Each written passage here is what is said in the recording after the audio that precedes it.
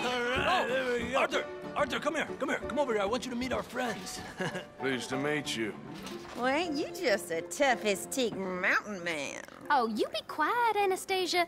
Anyone can tell this one is a pussy cat. Exactly, yes, he's a pussy cat. Ain't that so, Arthur? Whatever you say. How much you cost, anyway? Well, ain't that a nice way to talk to a lady? Oh, I didn't know I was talking to a lady. Excuse me.